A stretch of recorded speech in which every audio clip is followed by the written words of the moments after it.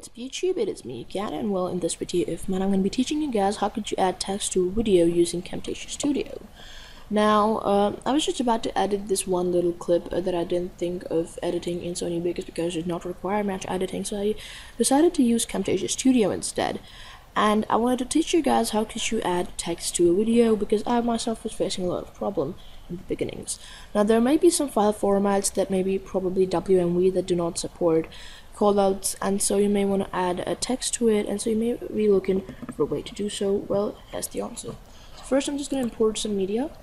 Uh, okay I already have something.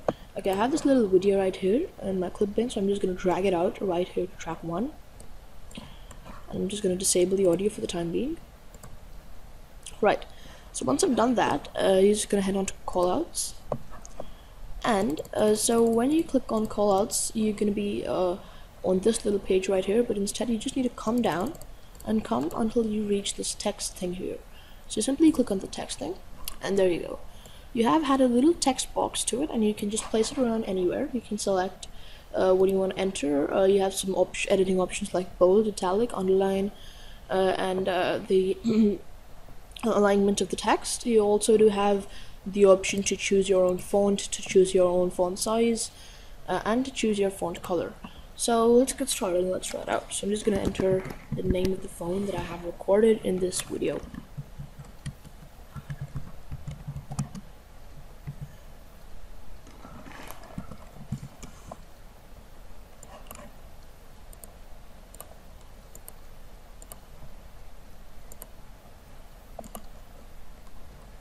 And I'm just going to change the font to say JubJ and okay so I'm just gonna change the font color because it's not currently visible. So I'm gonna change it to white increase the size of the text box increase the font size. That brought to about 200 okay that was too much. How about a 120 right so there we go guys. Uh, now you I have successfully added font I've successfully added text to my video right here. So um, that's about it for this tutorial guys and you just simply press add color after that. And there you go you're done. That's what you need to do. That's what you need to do to add text. And well that's about it. So let's just try it out and let's play the video once. So as you guys can see there's our text and we can obviously uh, uh play around with the length of the text where we want it and uh, all that so that's about it for this video, guys. I generally do hope that you guys enjoyed it. If you did and if you want more such videos, please remember to subscribe. ICSodaCan, logging off.